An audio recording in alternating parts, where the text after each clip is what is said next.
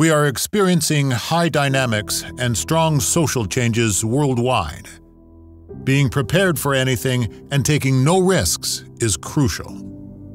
The Perimeter Protection Group pursues the goal of averting dangers in order to protect our fellow human beings and what is valuable to us. Safety and quality are the most important factors. For this reason, technically complex simulations and elaborately planned crash tests are carried out for the development of the products. In addition, a large part of the manufacturing process in production, as well as the final inspection of all products, take place in their own factory. Locations in five countries and a large number of distributors form the Perimeter Protection Group. The products are used throughout the world in the fields of access control and high security and enjoy a great international trust.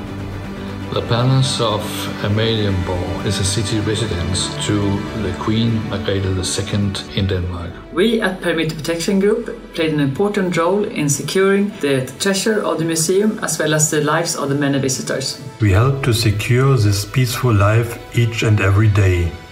Such prestigious objects enjoy a great deal of attention and therefore require particularly high protection. We're just right for the center of competence in Zurich, Switzerland. Perimeter Protection Group was capable to supply according to these challenging demands.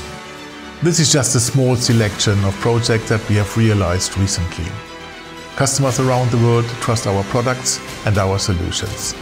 And that's not surprising because we are the best at what we do.